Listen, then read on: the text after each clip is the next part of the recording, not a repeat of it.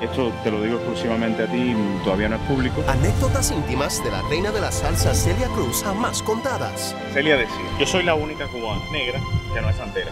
Este lunes, un especial sobre Celia y su legado por Mega TV.